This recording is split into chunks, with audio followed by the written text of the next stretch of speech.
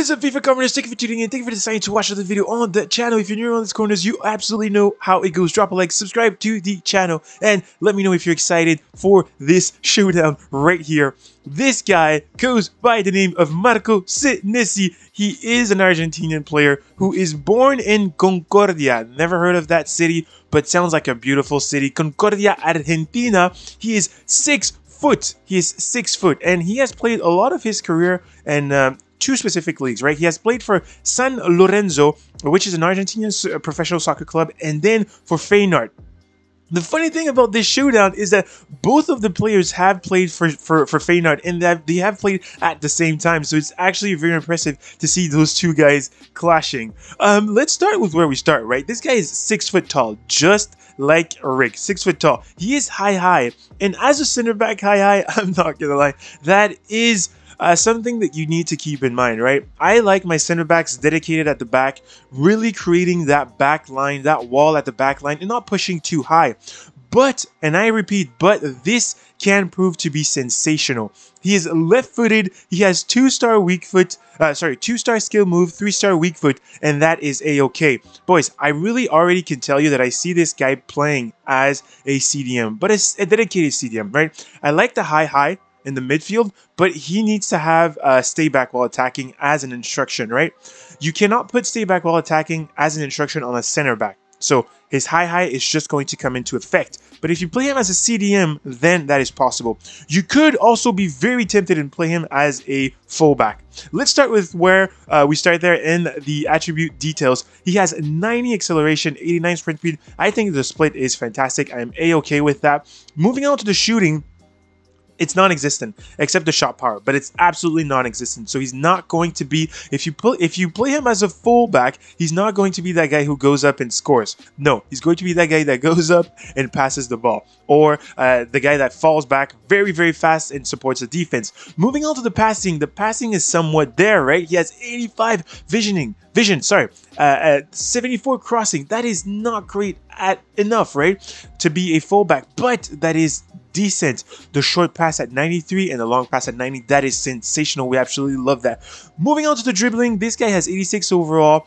The first split is not that great. It's 84 agility on 83 balance, and you also have to keep in mind that he is average body type. But then we move on to the reaction that's 93, ball control 86, dribbling 84, composure 94, and that is sensational. Boys, where this card, where this card absolutely outshines is the defending. Look at that.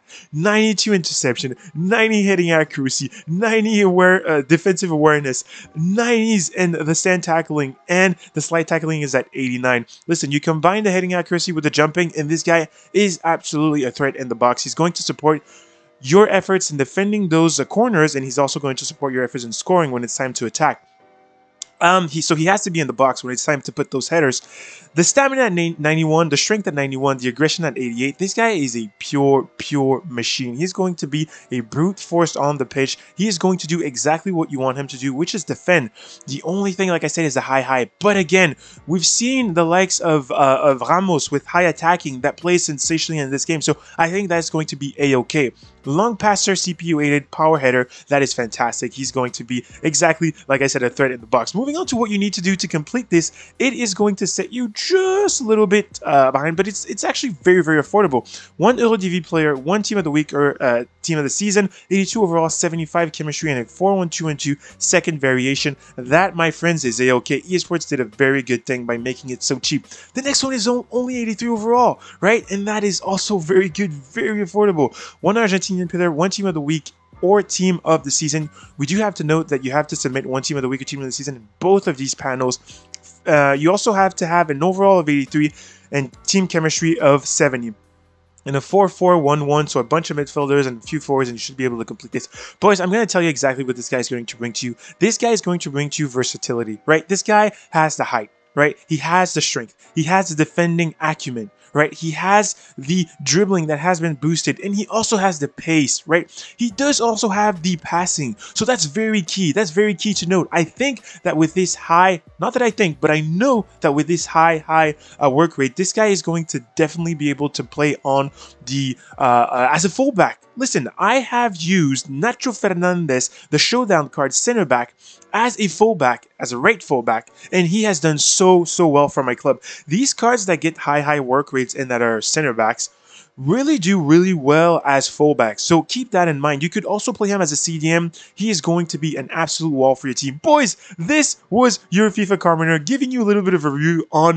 Senesi, Marcos Senesi. I absolutely love the card. I am going to complete him without a shadow of a doubt. Go ahead and do that yourself, and I'll catch you very soon for another player review. Peace out.